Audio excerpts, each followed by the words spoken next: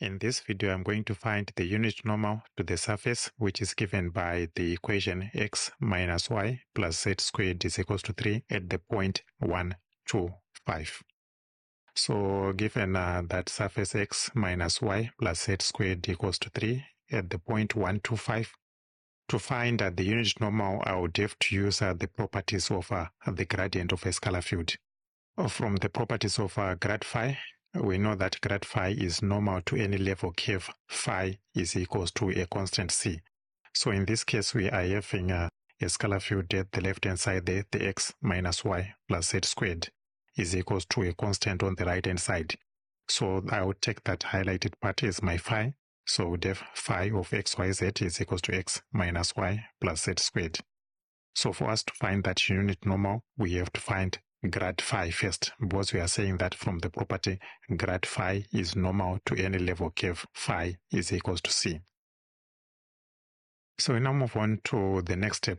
For any real valued function phi, the gradient of phi which is denoted by grad phi is the vector partial derivative of phi with respect to xi plus partial derivative of phi with respect to yj plus partial derivative of phi with respect to zk. So I'll write my grad phi there as it is by the definition. Then substitute the phi that we are having there. We are saying it's x minus y plus z squared. So we have the partial derivative of the phi with respect to x, partial derivative of the phi with respect to y, j, plus the partial derivative of the phi with respect to z, k.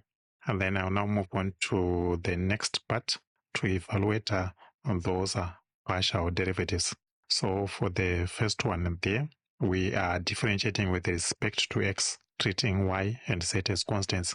So differentiate with respect to x, we'll get a 1 there. So the 1 by the i, so we'll remain with the i there.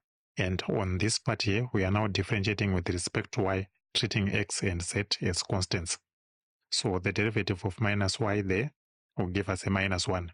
The x and uh, the z, we are treating them as constants, so we'll have zeros. So we'll remain with minus j. Now looking at uh, this part here, we are treating x and y as constants. Differentiate with respect to z and we get 2z. Then multiply by the k, then we have 2zk. So what we are having there is our grad phi is i minus j plus 2zk. We then go on and evaluate grad phi at the given point 1, 2, 5. We are saying x equals to 1, y equals to 2, z equals to 5 and you put it into the phi there and would have phi at the point 125 is i minus j plus 10k. So what we found there, that's the grad. That's the normal to the curve x minus y plus z squared is equals to 3. But the question is asking us for a unit normal. What we are saying is this one here is a normal. To find a unit normal vector given any vector, we divide that vector by its norm.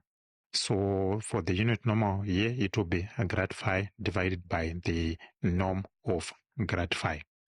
So our grad phi is i minus j plus 10k. So def i minus j plus 10k divided by the norm of i minus j plus 10k.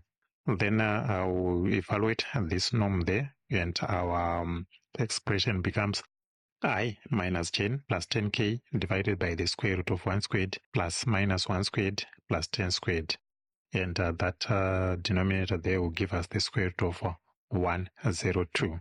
So we'll have our unit normal there will be i minus j plus 10k divided by the square root of 102. So this vector here is the unit normal to this level curve, which we're given x minus y plus z squared is equals to 3.